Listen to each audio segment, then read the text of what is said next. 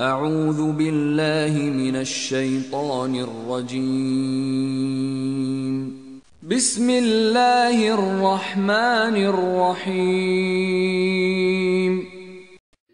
Indeed, those who have believed, and those who were Jews, and the Sabians, and the Christians, and the Magians, and those who associated with Allah, Allah will judge between them on the day of resurrection.